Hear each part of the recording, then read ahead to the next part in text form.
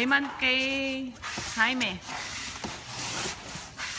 Lagyan mo ng note, ma-ship today.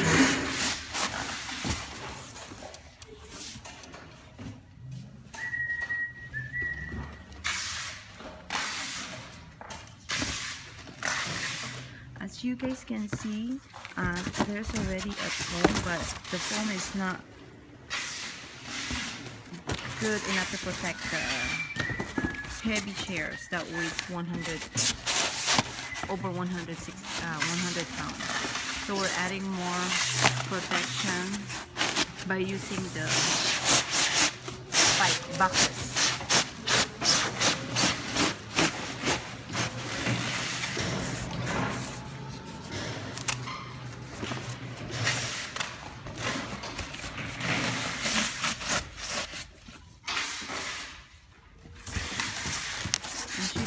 it's not, it's very flimsy uh, type of foam.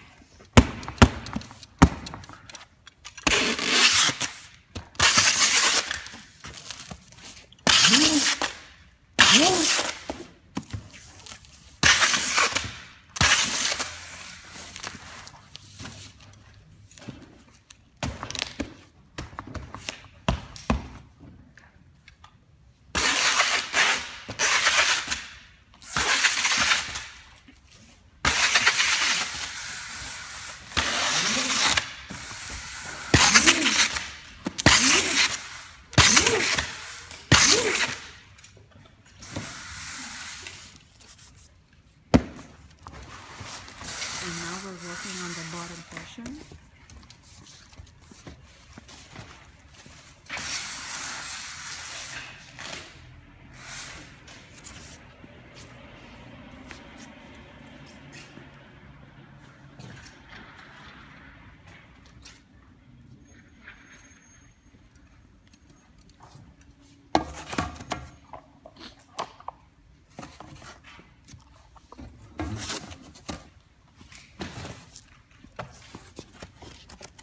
We're using corners to protect the base of the butcher.